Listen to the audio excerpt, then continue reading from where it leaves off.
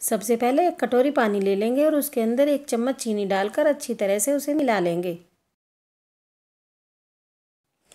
चीनी मिला लेने के बाद हम इसके अंदर एक चम्मच लगभग ईस्ट डालकर एक घंटे के लिए एक्टिवेट होने के लिए रख देंगे। अब हम एक पैन ले लेंगे और उसके अंदर एक कटोरी पानी डालकर सूखी लाल मिर्च पाँच से दस मिनट के लिए उबाल लेंगे। मिर्च उबल जाने के बाद हमारी चटनी के लिए तैयार है। अब हम इन्हें एक बाउल के अंदर निकाल लेंगे। अब हम उबली हुई लाल मिर्च मिक्सी के जार के अंदर डाल देंगे। अब हम इसके अंदर थोड़ा चाट मसाला थोड़ा कटा हरा धनिया,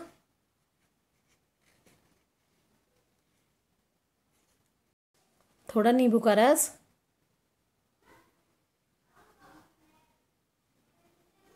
थोड़ा सा ही जीरा। थोड़ा ऑलिव ऑयल और स्वाद अनुसार नमक डाल लेंगे। और इसे ग्राइंडर में अच्छी तरह से पीस लेंगे।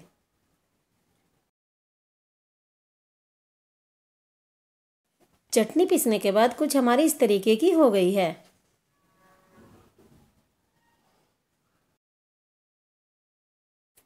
अब हम चटनी के अंदर थोड़ी मेयोनीज डाल लेंगे और इसे अच्छी तरह से मिला लेंगे। और अब हमारी पिज़्ज़ा सॉस तैयार है। अब हम एक पैन के अंदर लगभग एक चम्मच देसी घी डाल लेंगे। अब हम इसके अंदर आधी चम्मच गरम मसाला, आधी चम्मच मिर्च और आधी चम्मच हल्दी और स्वाद अनुसार नमक डालकर अच्छी तरह से मिला लेंगे। और इसके अंदर कटे हुए पनीर के पीस डाल लेंगे और अच्छी तरह से इन्हें सोटे कर लेंगे। अब आप देख सकते हैं, पनीर सोटे करने के बाद इस तरीके के हो गए हैं। अब हम दो कटोरी मैदा ले लेंगे और इसके अंदर एक चम्मच नमक डाल लेंगे। अब आप देख सकते हो, एक घंटे के बाद हमारा ईस्ट एक्टिवेट हो चुका है। अब हम इस ईस्ट से आटे का मोयन तैयार कर लेंगे।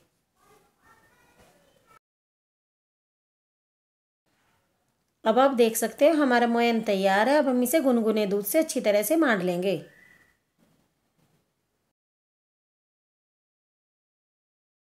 अब हमारा आटा कूद कर तैयार हो चुका है। अब हम इसे एक सरफेस के ऊपर रख देंगे। अब हम इस आटे को पाँच से दस मिनट के लिए कुछ इस तरीके से गूंथते रहेंगे। अब हम एक बाउल के अंदर देसी घी लगा लेंगे। अब आप देख सकते हो हमारा डो बनकर तैयार है। हम इसे कुछ इस तरीके से रोल कर कर बाउल के अंदर पाँच से दस मिनट के लिए रख देंगे। अब आप देख सकते हो, पाँच से दस मिनट के बाद हमारा डो कुछ इस तरीके से फूल कर अच्छा हो गया है।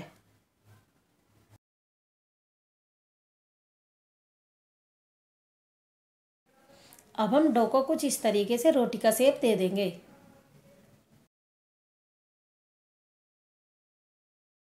अब आप देख सकते हो, हमारा डो बिलकर तैयार हो चुका है। हम इसकी कुछ इस तरीके से कटिंग कर लेंगे।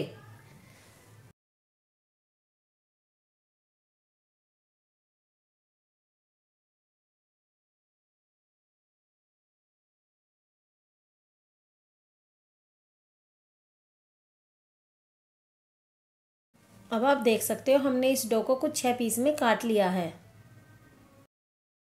अब हम प्लेट के ऊपर रखकर कुछ इस तरीके से पिज़्ज़ा सॉस लगा देंगे। पिज़्ज़ा सॉस लगाने के बाद हम तले हुए पनीर के पीस भी इसके ऊपर रख लेंगे।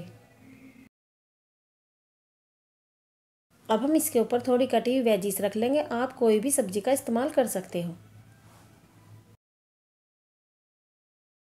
अब हम इसके अंदर थोड़ी ओरिगेनो थोड़ी चिली फ्लेक्स थोड़ा मैगी मसाला डाल देंगे। अब हम इसके ऊपर थोड़ा चीज़ कस देंगे। और हम इस तरीके से इसे फोल्ड कर देंगे और इसकी एक पोटली बन जाएगी।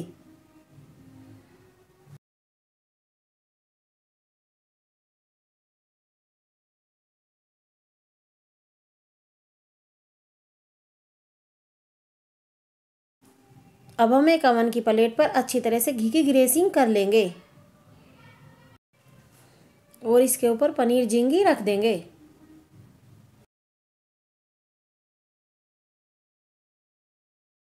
अब हम इसे 220 सेटिंग पर 10 मिनट के लिए रख देंगे।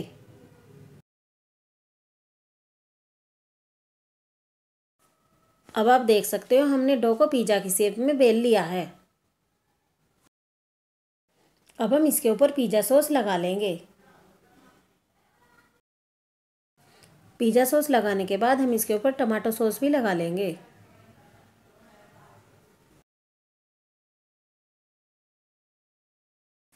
अब हम इसके ऊपर थोड़े पनीर के पीस भी रख देंगे। पनीर के पीस के बाद हम इसके ऊपर थोड़ी वेजिस भी डाल देंगे।